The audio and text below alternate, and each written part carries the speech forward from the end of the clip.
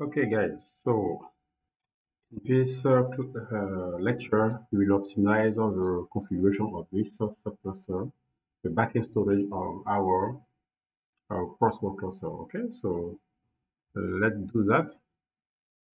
The first step that I will do is to connect on the console. Okay, the CLI. So do that quickly. Uh, I have the IP address of my uh, node hypervisor one of the, of the Proxmox cluster. Okay.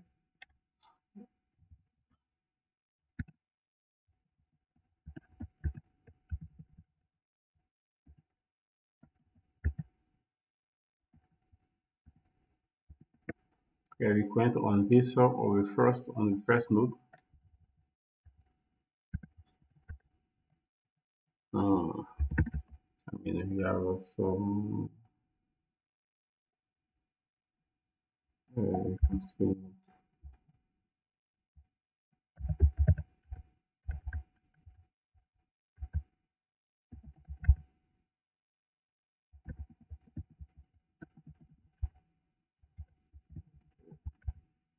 So the first thing to do is I will show you the current uh, cluster map. Okay, I will show you a current cluster map. Here it is. Okay, so let's suppose that uh, we both nodes in the reality uh, the real world are on the same chassis. Okay, the, the host one, two, and three are on the chassis one. Okay, but here in the current current cluster uh, cluster map, we don't have uh, this uh, chassis represented here. Okay, this is an issue. Okay, because when you shut down the, whole chassis, it should be uh, reflected uh, here in the Ceph uh, OSD, OSD or Ceph cluster map. So you will update this cluster map in order to have to let Ceph know that this particular node is inside a chassis and this chassis also is inside a rack for instance okay it should be very flexible and once this cluster map will be updated we will have at the second step we will update the the, the CRUSH map okay? To take uh, to say that uh, the failure domain of this specific pole will not be anymore on the host level but it should be at chassis level simply okay? So let's do that rapidly and we will create a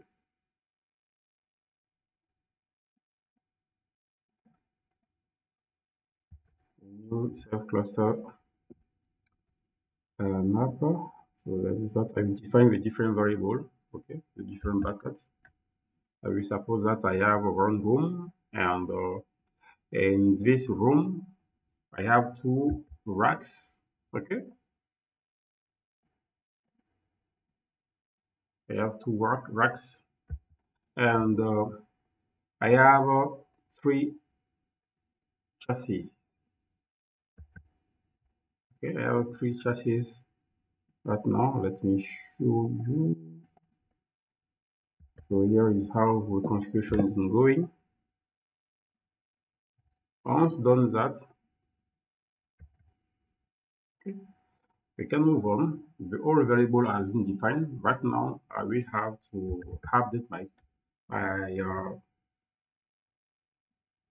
cluster map uh, right now. Let's say that uh, data center, and we have uh, this data center is uh,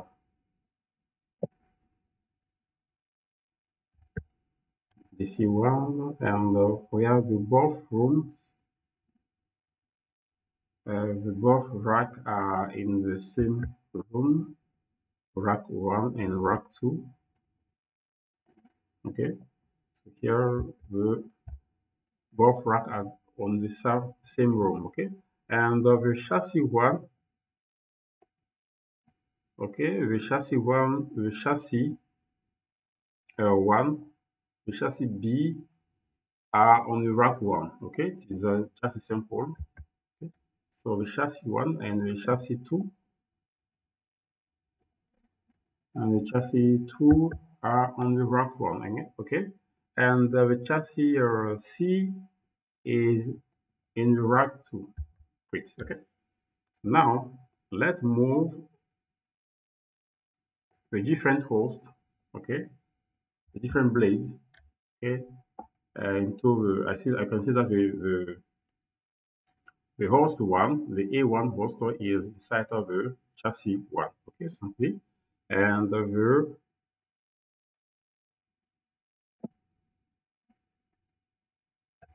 things the blade the blader or the the host A2 in the chassis uh, one or chassis A. Okay, and the same thing so the blade A3 or host A3 in the chassis uh, A. Okay. Next, let's uh, uh, move over oh, oh, the blade the blade B one to the chassis B and uh, the B2 in the chassis B. Okay. Mm, I might have uh, the I don't have uh, the I have only uh, two yeah, B1, B2, okay? And uh, for the last one, okay, the last one, it is of the C1, I mean the C1, okay, on the chassis C, okay, great. So now let's review, let's uh, show again our cluster map, beautiful, okay? So now we have this topology, this our physical topology uh, is uh, our cluster mapper reflects our physical topology definitively. Okay, so now we can move on. So the first steps that we have to do when you have any uh, any Ceph cluster in production, we have to update your cluster mapper. Uh, it should reflect on your physical topology in your environment. Okay, so next step after done that, we have to edit the CRUSH map. Okay, okay, we have to edit the CRUSH map. Why? Because uh, let me show you here in the, regarding the configuration of our current uh, current uh, yeah, look at here. Okay, this CRUSH rule, this one, okay, failure domain is at host level. Okay, it's at host level, so that means that uh, even here for, regarding the, the, the replica size, the replica has been configured to four or three, for instance, okay? This means that uh, at one moment, you can have uh, four copies, or no, uh, if your replica size is different at uh, level and you have three, uh, three, uh, three uh, replica, okay? At one moment, you can have three copies of data on the same chassis, and this and if this chassis goes down, automatically you will experience failure within your cluster. Okay, you, you can you will experience it. You will, you will see uh, some inavailability uh, data uh, in your cluster. Okay, so to reverse that, you can uh, have the cluster say that for this particular pool, for instance, or for this for the pool that use this uh, role, I want that I want that the failure domain goes from cluster to a chassis simply. Very simple. Okay so we will do that right now. Okay let's do that.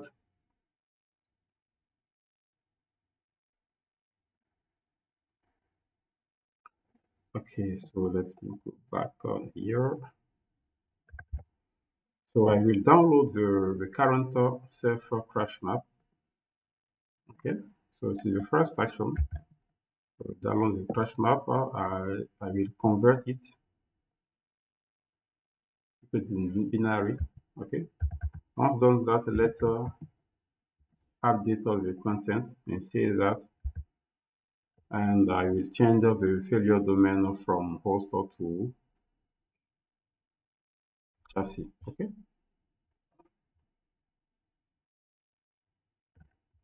yeah I will go from hoster to chassis. chassis.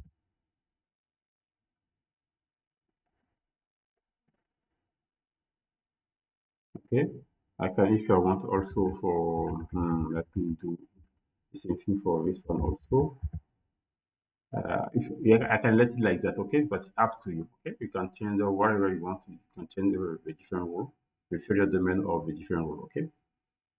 And uh, after done that, let us save it for X. Yeah, and now I have to. Yeah, let me uh, convert it binary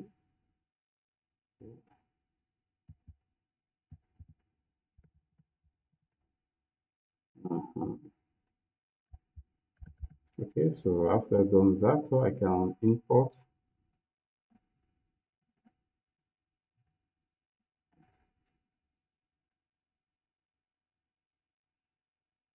uh, before import okay let me uh, right now my uh, we one thing so I would like to show you.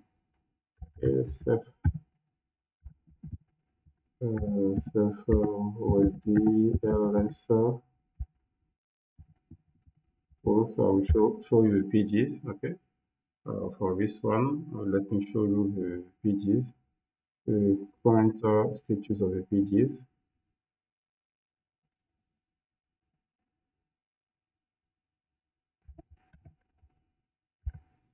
Okay, so we have a four replica. Uh, the replica value is uh, is uh, four. Okay, right now. Okay, if you remark, uh, because of the replica size is four, if I when I will change the failure domain from uh, to chassis, I will uh, have some. Uh, I will have the the pole will be undersized. Okay, we show we show you.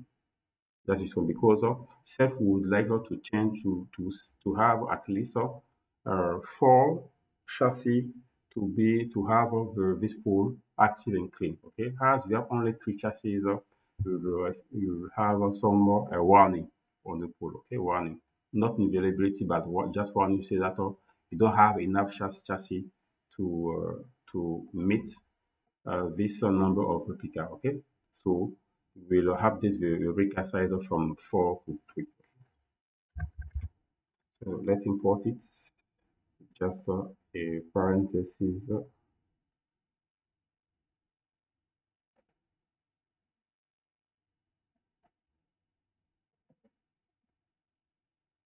okay so let's do that. Yeah. And once done that see what will happen. See?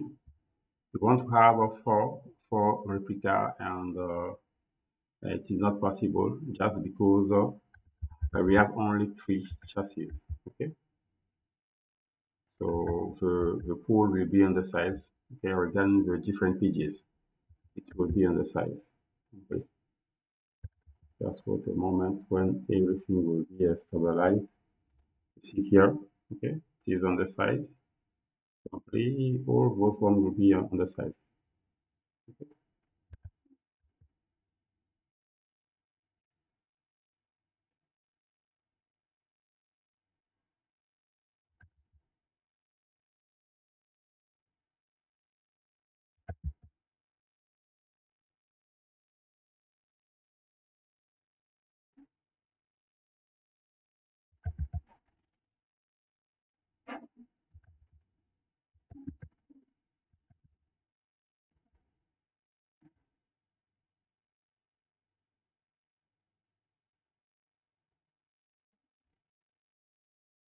Just because we have you say that the failure domain is at chassis level and uh, we have only three chassis at the moment okay? So it will not be possible for Ceph to meet those requirements. Yeah.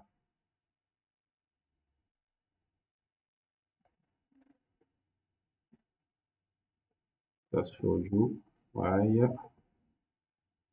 we have uh, no moment for this particular pool, we say that we need a four copy, okay? And uh, and uh, the, the rule that is used is uh, the replicated rule, okay? We replicated AGD rule, and for this rule, we have this the failure domain from host to chassis, and we have only one, only three chassis in the Ceph cluster, okay?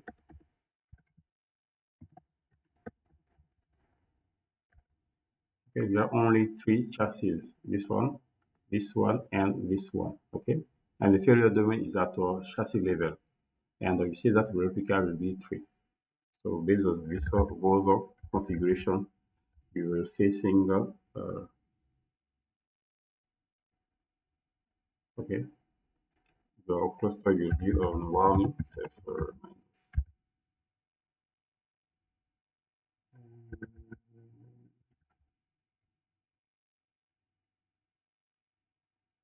Yes, we have 160 remap pages. Okay.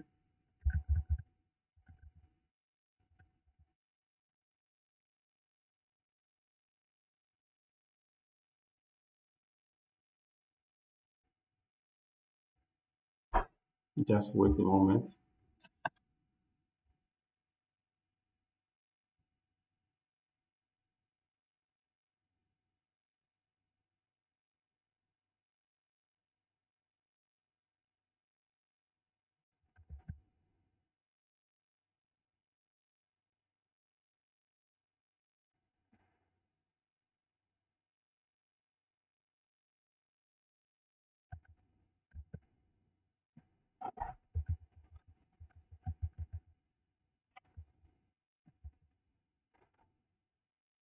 Okay, I don't want to talk too long time. So this stage also will be a hard data because uh, at the moment of the Ceph will uh, see that of the, regarding the replica, uh, the number of replica, okay, that has been, uh, let me show you.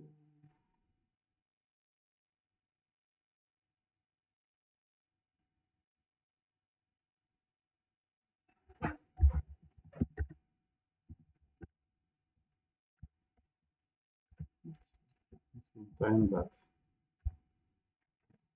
let me case, let me take case of this one okay? If this one the OSD one the OSD one is here in the chassis one the OSD 10 is uh, in the chassis uh, B and the OSD 15 chassis C and the OSD 4 the OSD 4 is on the chassis okay? This is not normal okay is not normal. So this status will be updated uh, soon.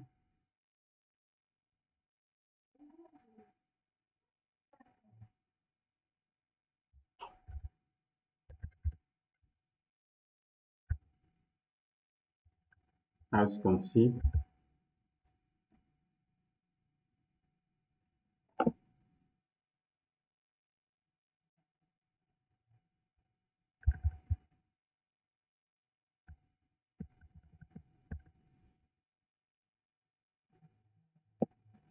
here is the, the good stage also regarding the pages use this one okay? So the, the initial the current value and the target value okay are okay okay? But here the the current uh, configuration and the target configuration has missed uh, are not the same okay? It just means that something is on, uh, something is ongoing right now and it's not finished in the Ceph cluster right now okay so I don't want to take too long time. So I will just have data of the, so go ahead. I will just have data of the, the number of replica, just to go ahead and uh, to save time. Okay, we don't have many times here. I will say I will come back to three. Okay, and uh, the, uh, the minimum size or page size will be um, let's start to, to Okay, so that means that you will need at least two chassis uh, alive in the cluster to be able to write or to into this uh, uh, pool. Okay, this this is the meaning on this uh, of this configuration. Let's start that now, and let's see uh, what will happen.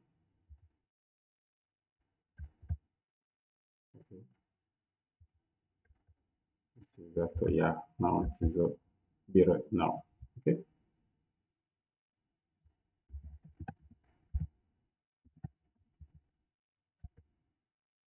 okay it definitely all pages are active and clean okay Okay, so now this is the first steps of configuration. This is very good. The, our, we have updated the cluster map. We updated over um, uh, the, the cluster mapper and the CRUSH map. Okay, the both one has been updated successfully, and you also updated over the number of replica of a code. Okay, so the next step that we have to, to, to deal with is the number of monitor within the cluster. Okay, so thank you very much and see you in the next lecture. Bye from now.